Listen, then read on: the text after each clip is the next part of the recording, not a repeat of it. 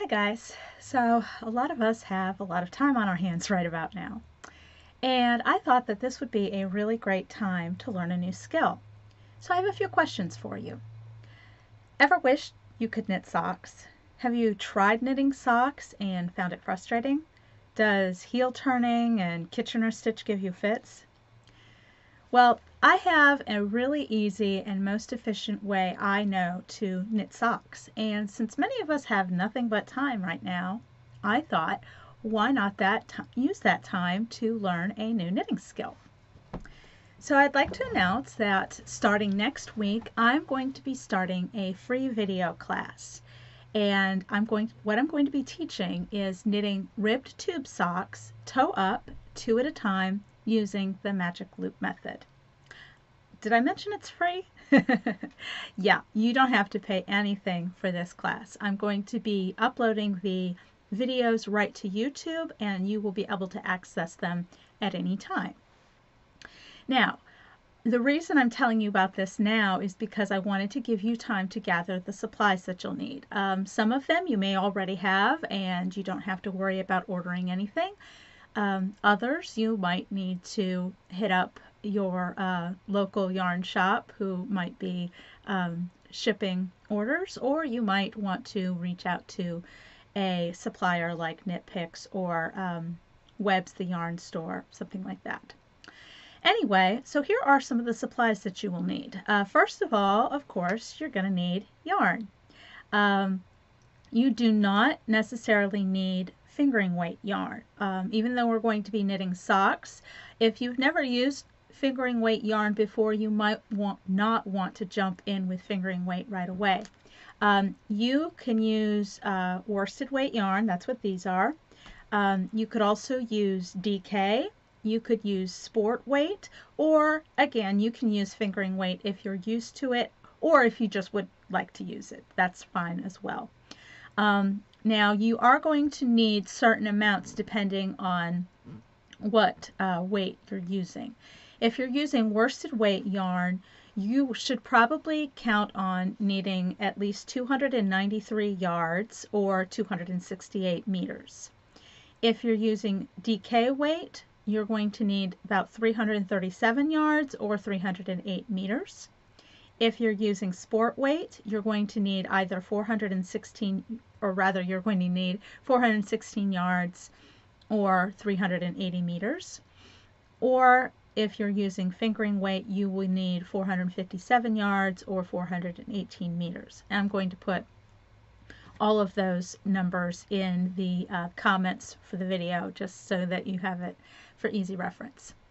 Um, so these are estimates. I should mention that. I got these uh, calculations from the Jimmy Bean Wool Yarn Calculator.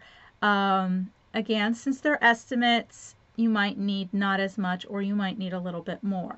It's generally a good idea to take 10% of that and add it on to the amount that you um, think you might need just to be on the safe side. It's always better to have more too much yarn than not enough, right? okay. Um, again, these are basically going to be our practice yarns. So you could use turquoise and blush pink if you want. It's totally fine. Um, you don't you don't even have they don't have to match they don't have to go together. This is just for practice. Now obviously um, you know you might want to do something with the socks once you're done with them. You could wear them for yourself. You can give them as a fun gift whatever you want to do. It's up to you. Um, the idea obviously is just to learn how to do how to knit the socks and then um, you'll be able to transfer those skills to knitting socks for other people, which is, of course, the reason we're learning how to do this, right? Okay, so next thing you're going to need is a circular needle that's at least 40 inches long. That is really important. Again, we are going to be using the magic loop method, which means they absolutely have to be at least 40 inches long or else it, was, it won't work very well. Um, these are actually 47 inches, so that's great. Um, I recommend one of four different brands.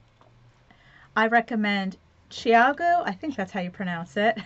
um, I will, of course, put these in the comments as well. Um, these are ChiaoGoo. That's probably my favorite circular needle, circular knitting needle brand. I also really like Knitter's Pride. Um, is also really good, and I, I've also recently tried Hiya Hiya Sharps and found that they're very good as well.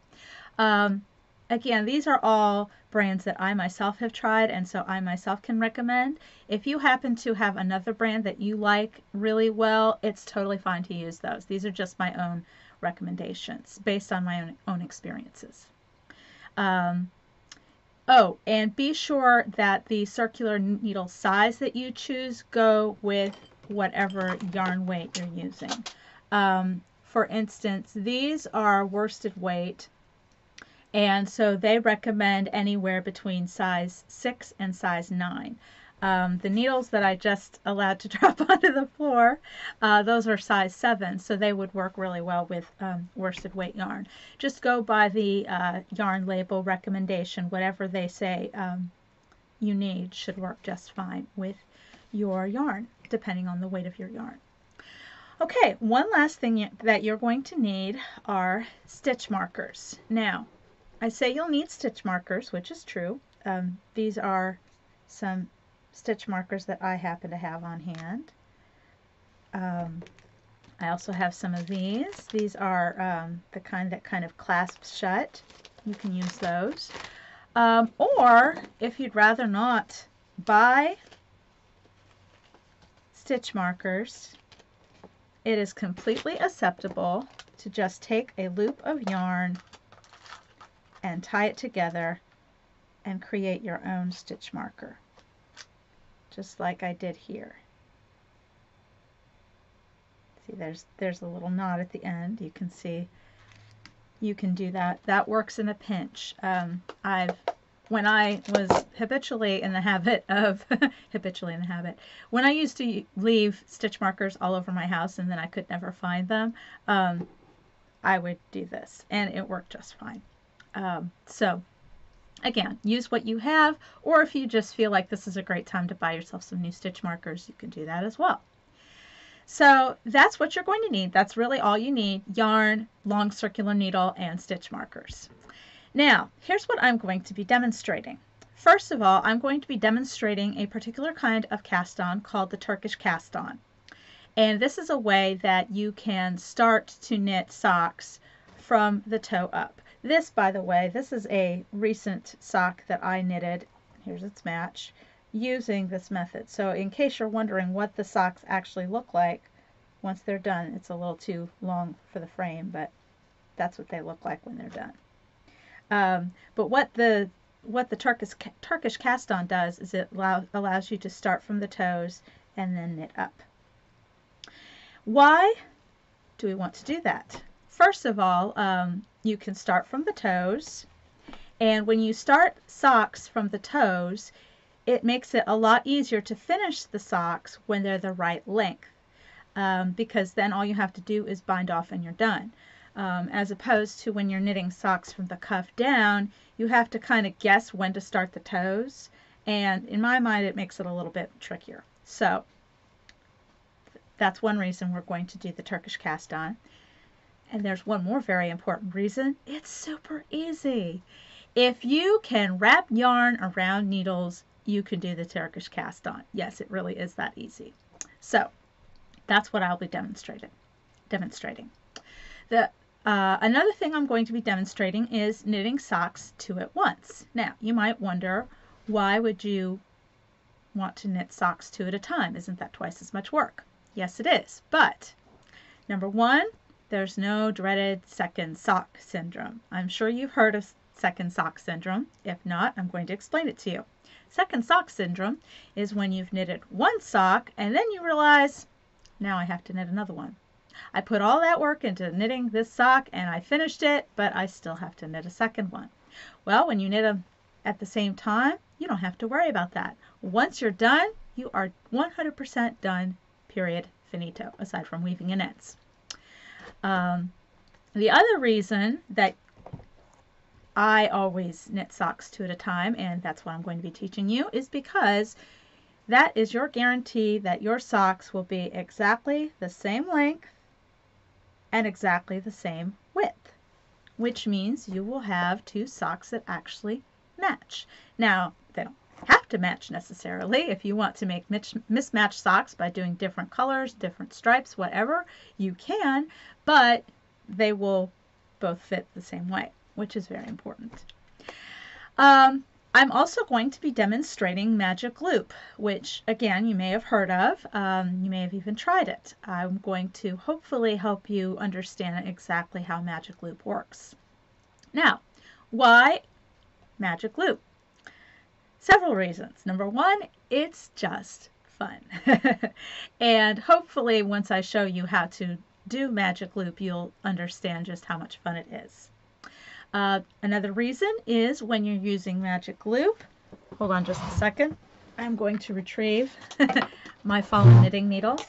When you use Magic Loop, again, since you're using one large circular, one long circular needle, you won't lose a needle because they're connected. So that's always helpful. Um, that's what that's an advantage that this method has over, say, using double pointed needles. Um, another reason is you don't have to worry about your cable being too long or too short as long as it's at least 40 inches. Um, sometimes when you're using a circular needle to knit in the round by itself on its own without the magic loop method, um, it's kind of hard to tell sometimes whether you need to have a 16 inch needle or a 24 inch needle or what have you. Um, magic loop takes all that guesswork away. Just get at least 40 inches and you're golden. And finally, there's only two needle tips to, to worry about. So it's really just like regular flat knitting.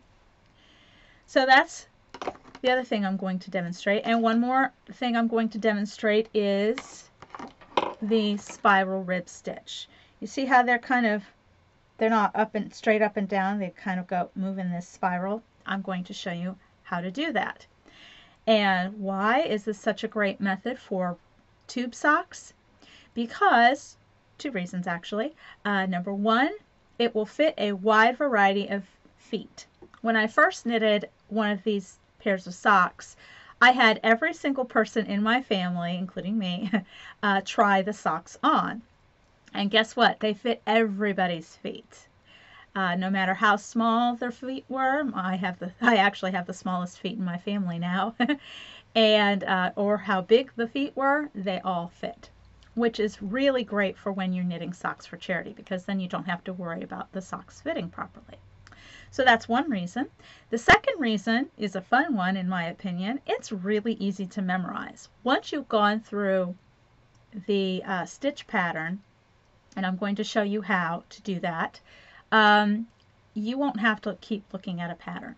Now I am going to have a pattern um, that you'll be able to follow, um, but you will probably find very quickly that you're not even paying any attention to the pattern because you're just keeping track of the number of rounds and you'll see.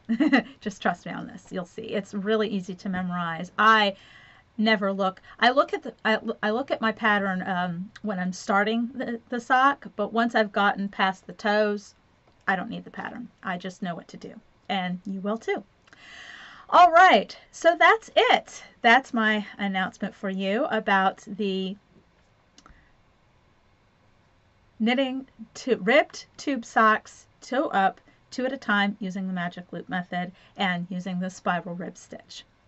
So I'm really excited to get started. Um, I'm going to be sending classes out um, hopefully once a week. Uh, and they will go out they will they will be uploaded to YouTube but they will be you'll be notified when there is a new video via email so if you want to sign up, I really encourage you to make sure that you are subscribed to my newsletter. I won't be notifying on any social media or anything like that as far as when the new classes are available. It's just going to be via my newsletter. So please make sure you're signed up for that. Um, I will have a way for you to opt out if for whatever reason you don't want to be notified of new classes. That's fine. I won't my feelings won't be hurt, but I will have a way for you to opt out if you want to opt out. But if you don't want to opt out, then you will continue getting notifications of new classes. So I'm really excited about this. I hope you are as well. Um, I feel like this is a great opportunity for us to, as knitters, to be able to help people. And as I've mentioned many times, socks are actually the most frequently needed piece of clothing in uh, homeless shelters. So I don't know about you, but I think we can all agree that people who don't have homes, they are in really, this is a really bad time for that right now because it's kind of hard to um, stay home if you don't have a home. You know what I mean? So anyway, so I think these are, this is going to be a really fantastic way for knitters to help people during this time of crisis. Anyway, so I'm really excited to be teaching this class and I hope you're excited too and I can't wait to get started. I will see you next week with our first class. Bye-bye.